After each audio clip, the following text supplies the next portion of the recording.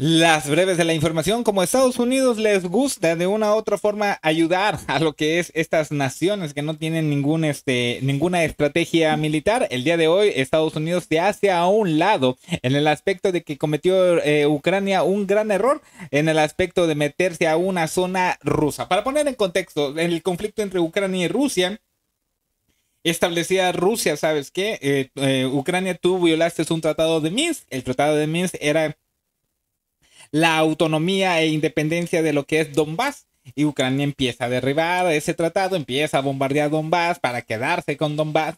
Y ahí empieza el relajo. Eh, Rusia tiene que entrar a defender una nación independiente, no era ucraniano ni ruso, en el aspecto de defender un tratado. Y ante esto el conflicto fue escalando. Ante esto eh, lo interesante de este conflicto es que empieza Estados Unidos, empieza Europa en el aspecto de dar armamento. Este armamento solamente era exclusivo para defenderse no ibas a, no ibas a tirarlo, o sea, es e, solamente para, si te tiran un proyectil, tú utilizas una, eh, una munición de defensa en el aspecto de que no caiga en tu territorio o que eh, sufra lo menos eh, daños posible tu territorio. Ese era el distintivo, ¿no? En el aspecto de que no reconocían el Tratado de Minsk, que al final, pues lamentablemente sí existe para, digo lamentable para Estados Unidos, que sí existe este tratado Minsk y que violó, eh, y violó Ucrania. Bueno, y esta era la forma, ¿no? En el aspecto de que no, no estamos ayudando a Ucrania, pero le estamos dando armamento, armamento para defenderse, no para atacar. Bueno, lo que es Ucrania empieza a, pisar suelo, suelo estadounidense, lo que es la frontera con Rusk. Rusk, Rusk, esa, eh, esa población, esa esa entidad pues es territorio ruso, no es una que se hayan apropiado y que haya sido propiedad ucraniana, no. Rus es parte de la frontera y es parte del territorio, eh, pues ahora sí, ruso. Y todos los medios de comunicación alabando, ¿no? De que, oye, estás haciendo esto sin ninguna estrategia militar, lo estás haciendo, porque todos estaban de una u otra forma pues eh, eh, perplejos, ¿no? En el aspecto de que no ibas a avanzar, no ibas a hacer un conflicto y adivinen qué, sí, en ese momento estaban haciendo este tipo de acciones donde eh, la incursión en Rusia era de 300 soldados ucranianos con tanques y blindados. Shoigu exagera, exagera mucho la conquista territoriales. Aquí lo interesante son que son 300 soldados que hicieron todo esto, ¿no? En el aspecto de hacer este tipo de acciones. Eh, Ucrania justifica el ataque de Kursk en el primer reconocimiento de incursión en Rusia, es decir, en territorio ruso. Establece lo siguiente, ha, justificado públicamente por primera vez su ataque a territorio ruso, a, a, medio de informes de que sus fuerzas están avanzando hacia una aldea a 20 kilómetros de una región de Kursk en el, en el tercer día de la incursión. Bueno, Volodymyr Zelensky pareció aludir a la incursión el jueves, diciendo que todo puede ver eh, que todos pueden ver que el ejército ucraniano sabe cómo sorprender en comentarios en un evento para presentar una nueva aplicación militar. Ahora bien, esto no es de que haya sido algo militar. Esto fue un atentado en el aspecto de que los militares rusos no es de que hayan estado dormidos o que no hayan estado en la frontera. Aquí lo interesante es que se habían infiltrado, ya estaban eh, uno por uno, entraron por diferentes zonas y empezaron a abatir civiles y también, eh, pues ahora sí, objetivos de civiles, que son viviendas, este, obras de este, lo que son este, eh, donde hacen eh, obras de teatro, las plazas comerciales, etcétera. Esto no fue algo, algo, una estrategia militar. Tanto es así que, por ejemplo, establece lo siguiente CNN. ¿Por qué los generales ucranianos podrían haberse arriesgado a una incursión en Rusia? En pocas palabras, CNN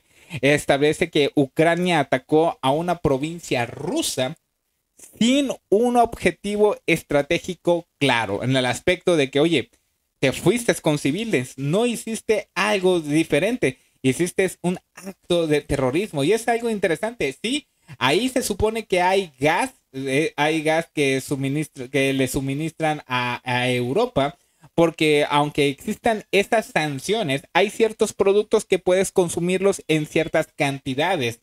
Y dicen, oye, pero ¿por qué estás atacando lugares civiles pero no estás atacando lugares militares o las estrategias, ¿no? Apropiarte de zonas de gas, toda esta onda, ¿por qué no lo estás haciendo? Porque no fue una estrategia militar. Todo esto fue coordinado para hacerlo como un atentado. Tanto es así que, por ejemplo, Rusia establece que fue un ataque, ¿no? un ataque extremista eh, de Kiev, de Ucrania, en la provincia de Kursk, que atentó contra civiles. Obviamente, esto ya... Eh, ya, este, ya quedó eh, pues desmantelado en el aspecto de los que entraron, pues así como entraron, pues así quedaron desvividos.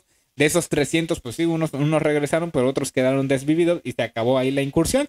Ante esto, Adivinen qué, sacan la vieja confiable. Esta es la rueda de prensa del día de ayer, donde Estados Unidos es Ucrania. Ojo, eh, es Ucrania la que decide qué, eh, forma toman sus operaciones militares, como si no fueran eh, pues asesorados por el Pentágono. Aquí se deslindan, aquí se deslindan de esto, pero si fue una operación militar exitosa, de, ponerles una medalla. ¿Por qué Estados Unidos demerita todo esto? Porque no lo digo yo, lo dice en la misma conferencia eh, eh, de prensa, eh, en el aspecto de que no, no, no, no, todo esto fue este fue realizado por lo que es este Ucrania, no fue por nosotros, es lo que establece la Casa Blanca.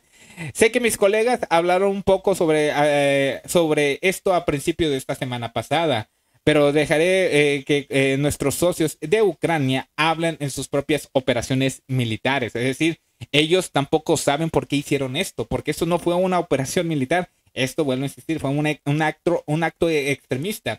Pero en términos generales, hemos apoyado que las fuerzas ucranianas pueden defenderse de los ataques de las fuerzas rusas que vienen del otro lado de la frontera y que toman medidas para protegerse de estos ataques. De una u otra forma, avalando, ah, es que ellos reciben ataques, toda esta onda, están avalando eso, ¿no? De, ah, es que viene desde la frontera, toda esta onda, todos los ataques van a venir de la frontera. No sé de dónde quieren que vengan los ataques, porque la frontera es Rusia, eh, estás peleando con Rusia, no sé de dónde quieren que venga, pero es algo interesante que se deslinda. No, no, no, no. Eh, eh, Ucrania si hace algo, es porque realmente Ucrania eh, decide y toma las propias decisiones. Es algo interesante que si fue una táctica militar, ¿por qué no decir? Nosotros lo apoyamos porque saben muy bien que esto que pasó la semana pasada y no lo toqué por lo sensible del tema y luego las plataformas te ponen una etiqueta para que no tenga mayor alcance, por eso lo tomo en este momento. Esto no fue una estrategia militar.